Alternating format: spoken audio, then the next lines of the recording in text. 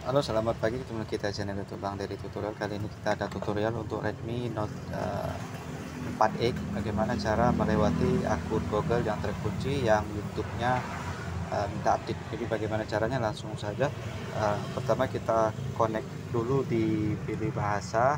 Kemudian kita konekkan di uh, di WiFi dulu. Setelah connect di bahasa Indonesia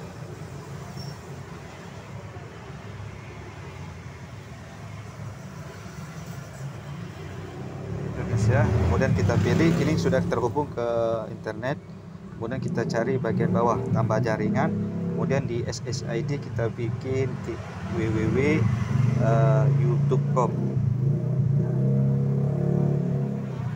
kita masuk kita blok. Kemudian kita pilih ada gambar rantai ini. Masuk. Nah, kalau kita pilih seperti ini uh, error seperti ini uh, terjadi masalah dengan jaringan 400 kita browser saja. Masuk uh, izinkan. Ini sudah masuk ke YouTube. Nah, sudah masuk seperti ini kita pilih uh, kita coba nih ada lambang ini. Kemudian kita pilih setting. Kemudian kita history dan privasi. Kita ciri tidak ada story dan privasi. Tidak ada kita pilih ke sini saja. Uh, kita ketik Google saja. Uh, kita ketik uh, di sini add rom saja langsung. Add rom PLP bypass. Nah seperti ini kita langsung Google saja dulu ini tidak bisa. Karena baca YouTube Google. Tidak bisa kita ketik. Nah, di menu YouTube ini kita titik tiga ini. Kemudian kita uh, sign in saja. Uh, kemudian Google sini bagian atas kita ketik saja. Hapus Google. Com. Google.com tidak bisa.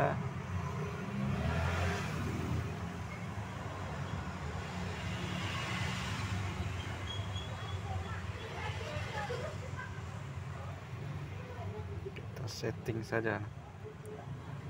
Kon tidak bisa.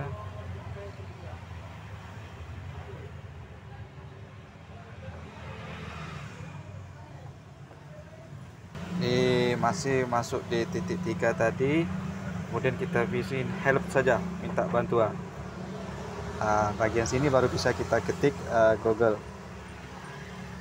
Uh, kalau itu langsung saja add rom. Add uh, rom PLP bypass. Ah ini sudah masuk langsung saja ini. Uh, kita masuk di add rom. Kemudian kita langsung saja di open setting di open setting dia langsung masuk ke setting telepon. Nah di sini langsung kita masuk ke tentang ponsel. Kemudian di versi MIUI kita klik tiga kali. Nah, sampai sekarang anda seorang pengembang. Kemudian kita back. Kemudian kita masuk di lainnya. Nah, bukan lainnya. Uh, setelan tambahan. Kemudian opsi pengembang nah di sini buka kunci OEM kita klik. Jangan kita geser seperti ini. Ya tidak bisa tapi kita klik. Nah, sampai muncul di sini izinkan pembukaan kunci aktifkan. Setelah itu bisa kita ulangi ke kembali kemudian kita cek lagi. Ini sudah tercentang biru. Sampai di sini ini sudah selesai. Handphone kita coba restart ulang. Uh, setelah kita restart ini ya, setelah OM nanti kita nonaktifkan biar tidak bermasalah. Ini sudah selesai kita tinggal restart saja mulai ulang. Jadi kemudian kita setel ulang seperti biasa seperti itu. Jadi kita tunggu saja dia sampai merestart ulang.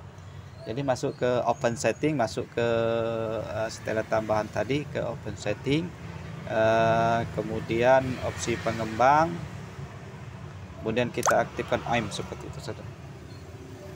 Ini tinggal kita restart saja kita tunggu kemudian kita pause untuk kita ulang kembali Nah ini sudah selesai. Kita masih terhubung ke internet tadi. Pun kita langsung saja lewati saja terus sampai masuk ke menu seperti biasa. Nanti siapkan sebagai baru kemudian oke okay. nanti kita tunggu pembaruan perangkat lunak. Ini sudah selesai. Biasanya tadi minta habis di reset ulang masukkan ke akun yang terbaru. Nah ini sudah selesai. Tinggal kita isi bikin baru ataupun kita masukkan dengan akun yang lama ataupun kita lewati saja. Kita lewati saja kemudian uh, berikutnya berikutnya siapkan nanti. Um, mengerti kemudian lewati saja lewati saja tidak kita isi untuk akun aminya kita lewati saja lewati saja kemudian lewati terus sampai selesai ini kita pilih selesai. Jadi kita tunggu saja seperti ini.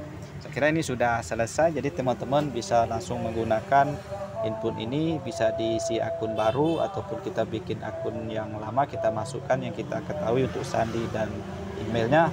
Kemudian di uh, opsi pengembang tadi kita nonaktifkan untuk uh, eh, OM-nya supaya handphone lebih aman dari serangan virus seperti saya kira seperti saja.